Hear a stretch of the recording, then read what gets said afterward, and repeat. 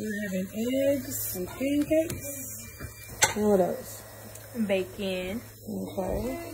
I'm gonna gain 100 pounds before this is all over with. We have to cook up everything in the refrigerator before it go bad. Before it go bad, and then we have to go find some ice for the deep freezer. So that food in there won't go bad. And that's all we have left. We'll keep you updated. This is served. We drinking up orange juice because baby that thing about to go bad if it's sitting in the freezer another day. Mm-hmm. It's good.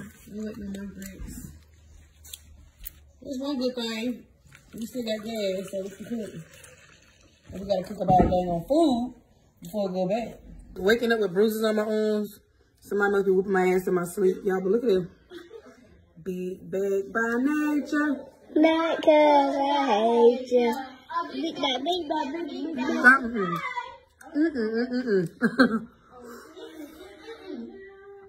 Good hot, y'all. We surviving over here by the grace of God with this hot food. Tell my kids thank God because a lot of people don't have food because they don't have power at work. We don't have power either. But we got a gas stove and a lighter. Quit growling. Girl, you eating all the, the collard greens and black eyed peas and stuff. What's she, what's she angry for? Gotta go, y'all. Keep y'all updated.